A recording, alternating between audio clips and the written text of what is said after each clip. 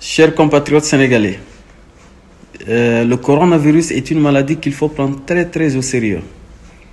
Désinfectez-vous les mains quand vous le pouvez. Lavez-vous les mains régulièrement pendant au moins 30 secondes. Luttons ensemble contre sa propagation. À bientôt. Bye.